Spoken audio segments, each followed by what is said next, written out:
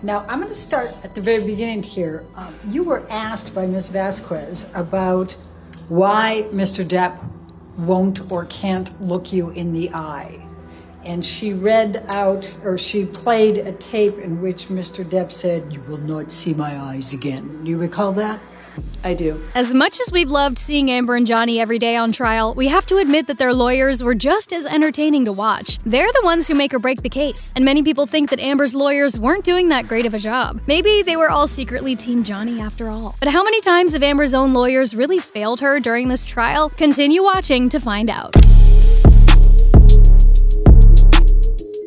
It feels like this trial has been going on for ages, and now that it's coming to an end, we're sad that we don't get to see Johnny's face every day anymore. Honestly, we've all been so invested in this whole thing, it felt like we're part of the trial with them. This trial all started because of the op ed Amber wrote back in 2018 for the Washington Post, around two years after her divorce with Johnny. In the op ed, Amber opened up about her experience as a victim of DV, and everyone knew that she was referring to Johnny. Considering Johnny's career went downhill from there, he finally decided to sue Amber for $50 million for damaging his reputation. And this is the reason they're going against each other right now. Amber is trying to prove that everything she said was true, and Johnny just wants to show the world that he has never laid a hand on Amber, and that he in fact was the victim of Amber. There have been many accusations, truths, lies, and many witnesses to back up both of their stories. We've had Amber's own sister Whitney testify along with Amber's former assistant, a few psychologists, Johnny's friends, and even Kate Moss herself. It's safe to say it's been pretty interesting, sometimes even a little funny. Who knew lawyers could get the whole audience cracking up? Well, Amber's lawyers sure did.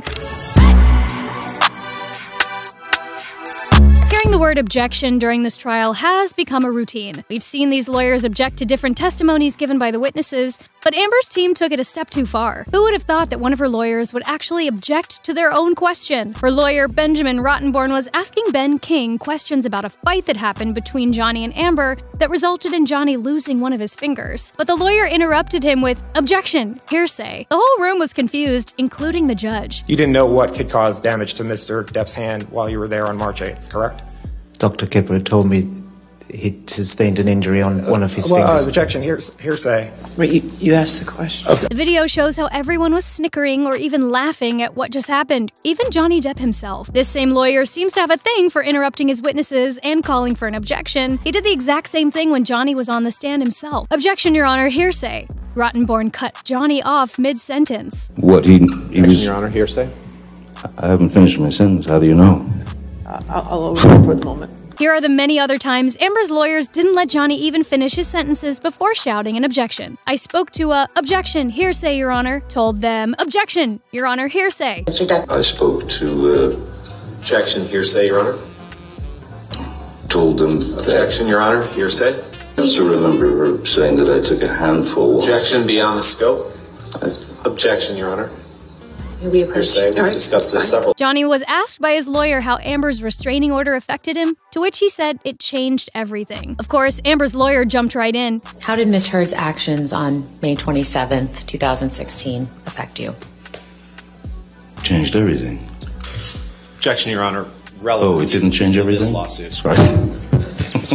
Amber Heard's lawyer just said objection hearsay legitimately at least four times in the last six to seven minutes. And each time the judge let out a small sigh and said overruled. Once she even said, I'll just overrule at this point. Like, even she's tired now. One of Amber's main pieces of evidence is the bruises that she got from Johnny during their marriage. Or rather, fake bruises, as everyone else thinks. If Amber Heard is so skilled with makeup as her lawyer asserts, it fits that she's skilled at painting on fake bruises, lol. Hashtag justice for Johnny Depp. Obviously, her lawyers tried to use this evidence against Johnny as soon as the trial started. Her lawyer Elaine Bredehoft showed a particular makeup kit that she claims Amber used to cover up her alleged marks.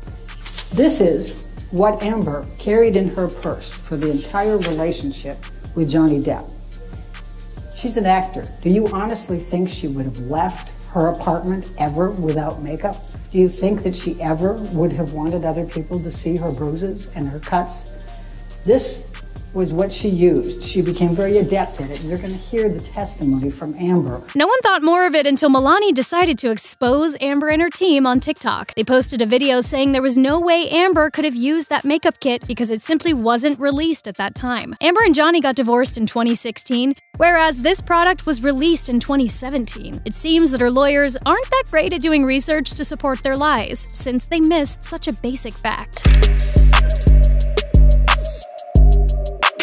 Sometimes it seemed that even the judge had had enough of Amber's lawyer's mistakes, especially Elaine's. During their closing statements, Elaine was rambling, and it seemed that Judge Penney couldn't take it anymore, so she summoned her to the bench to scold her a little. Insiders revealed that she gave her a few warnings about making inflammatory yet unsubstantiated statements. This is when she was interrupted and left for almost one whole minute before she returned and continued with her statements. She was talking about the police officers that went to Johnny's apartment after an alleged fight between the couple, but Elaine was insulting the officers, saying they weren't experienced, and of course, the judge couldn't stand that. Elaine had the judge make her clarify statements because she's rambling like a nut.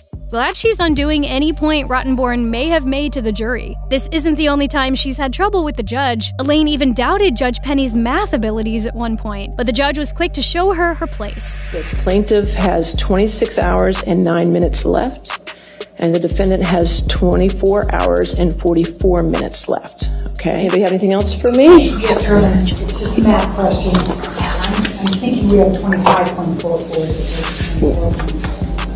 says 24. They have, oh they have 35.06 and we have 36. If you add 36 hours and 31 minutes and 24 hours and 44 minutes, you get, you get what? 60 and 75. What, what, what is our allotment? It's 61. Well, we'll get, if we can get with Sammy when we're done, okay? It's, is it right or wrong? What, what, what's the total of that? What's that? What's the total of that? 61, 61 hours and 15 minutes. Does that add up then?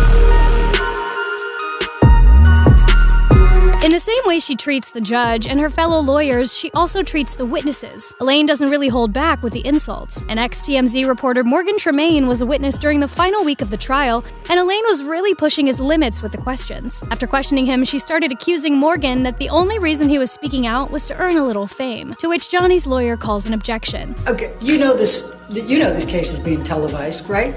I, I am aware that there are cameras. And so this gets you your 15 minutes of fame, doesn't Objection, Your Honor. Argumentative. I, I can ask that question. Oh, Ruled. But Morgan's reply has trended worldwide, and everyone is praising him for what he said. So I stand to gain nothing from this. I'm actually putting myself kind of in the target of TMZ, a very litigious uh, organization, and I'm not seeking any 15 minutes here. Though you may, you're welcome to speculate. I could say the same thing by taking Amber Heard as a client for you. A little argumentative, don't you think? Oh, hardly. I find that to be purely logical. Morgan Tremaine just owned Elaine Bredehoft. Amber's lawyers couldn't stop making the whole audience laugh and embarrass their own client. Remember when Johnny was asked what it would take for him to go back to working with Disney? Mr. Depp, if Disney came to you with $300 million and a million alpacas, nothing on this earth would get you to go back and work with Disney on a Pirates of the Caribbean film.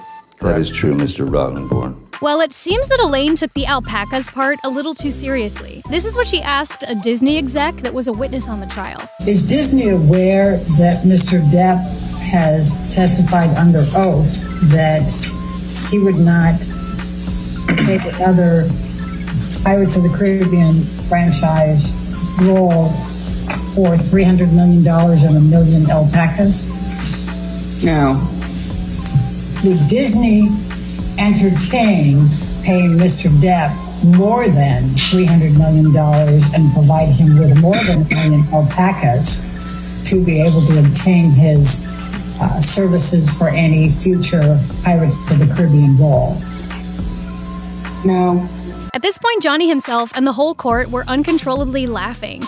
Amber must have been pretty embarrassed at this point. Of course, everyone was tweeting about it immediately. At this point, I'm convinced Elaine really believes that Disney has a farm of alpacas. It seems that all this hate from the public and having Amber as her client really got to Elaine's head. This is her first case with such famous celebrities, and it was maybe more than she could handle. Especially since she has to do a lot of lying. This is why we don't really blame Amber's lawyers for their mistakes, since after all, they have to do double the work to present Amber as innocent. But all of these moments will be following her lawyers for the rest of their careers. They probably regret being Team Amber at this point, too late to back out now. And if you enjoyed this video, make sure to check this next one out.